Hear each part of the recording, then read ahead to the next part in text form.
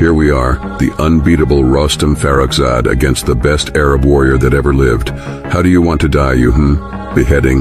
Body. You think you're strong?